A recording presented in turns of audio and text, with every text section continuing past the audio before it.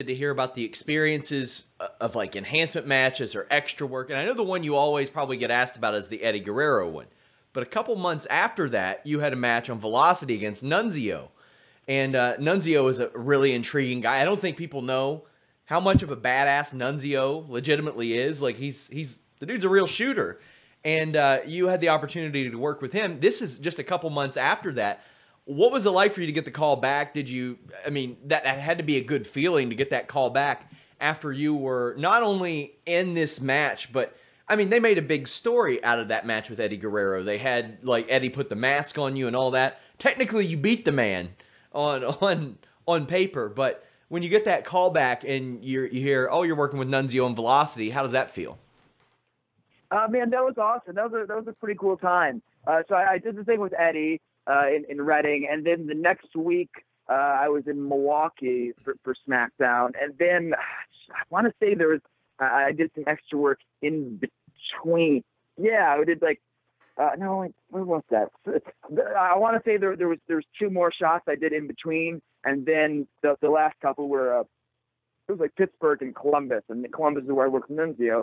Uh, oh yeah, I did um what was it? Uh, uh, St. Louis and Kansas City. I, I, I did extra work there too, and then so in the matter of a few months, like I, I they had called me a few times, uh, which, which was cool. And you know, as, as you show your face there more, you feel, especially when you're 21, man, you feel like everything's happening, right? Like people people start to know you, and uh, you know, John Heidenreich is like, oh man, I wish you were in my match tonight. There's a guy I wrestled. Uh, and you're like, oh, John Heidenreich thinks I'm great. I'm, I'm one step away from getting signed by WWE.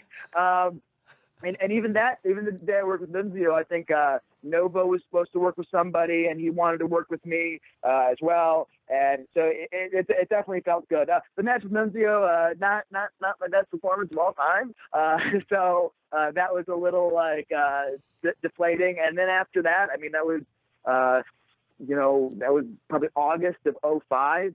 I didn't go back and do anything again for WWE until like I want to say like January of like 2011.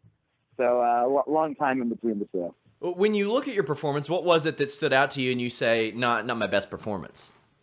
I mean, it's it's on YouTube. You you, you can check I mean, it out. It's just, I watched. It's just, it's just yeah, yeah. I mean, I, I I don't know. I remember like just, just a couple of things. I remember people like, oh, this this is not this is not uh not good. I just so, wanted your uh, analysis instead of mine.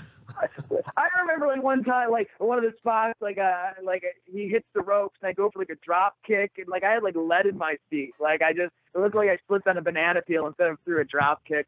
Uh, there was something else. There's like a miscommunication, I think. Like he's got me in a chin lock. Like we're talking, and uh, there, there was a little uh, something. I hit the ropes. He goes like bend over, and like we were like real like up up in each other when I gave him like a, I think it was like a kick. I think he, ducks down, I give him a kick, and then I give him a couple punches, and then, and then when he, he he ducks down, like I almost like need him. I was so close to him. It was just it, it wasn't you know you you go from something. The thing with Eddie was uh, very was, was well received. You know I came to the back. You know it was it was amazing working with Eddie, and I came to the back. When I came to the back, Vince was there, and Vince was like, "Thank you, good job," and you, know, you feel like a million bucks after those sort of moments. And during this match with Nunzio, it was it was almost a callback because they were talking about the same storyline that you had participated in months before. I mean, the the in between calling the match, they were talking about how how disgusting Eddie Guerrero was for doing this to Dominic and and, and all this. So like almost you couldn't escape it on TV. But looking back, I mean, probably better that you're if if you say that you had not the greatest performance, probably better that you were in there with Nunzio than Heidenreich, yeah. Yeah, yeah, I guess so, right? and there there was one spot in particular I was curious about.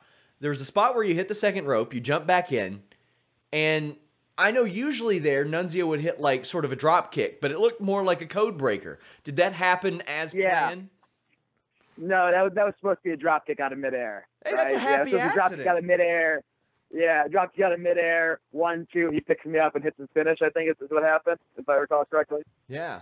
Well, I mean, 13 years ago, everybody's doing that spot now with the code breaker. I mean, it's it's a normal thing that you see all the time. And uh, when when I watch it on YouTube, somebody says that puts the code breaker to shame, and I'm like, wow.